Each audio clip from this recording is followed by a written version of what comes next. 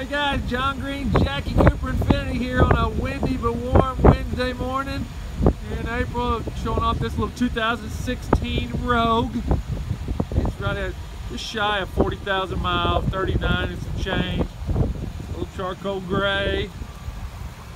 Uh, obviously the Rogue is one of the hottest little vehicles going right now. I think it was the fourth best selling vehicle behind the three big pickups last year. We've done real good with them. Great little vehicle. Great first car for graduation present, obviously. So we can never have too many of them on our lot. Uh, we're asking 17,299 for this one.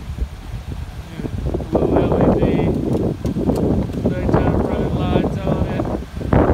Great little look. Little cloth interior here. Two-tone cloth interior.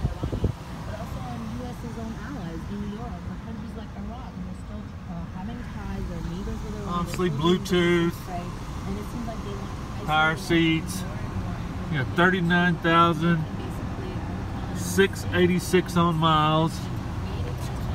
And it's John Green and Jackie Cooper Infiniti 918 698 5012. Again, we'd love to show you this car or anything else we carry here, new or pre owned. Hope you're having a blessed Wednesday.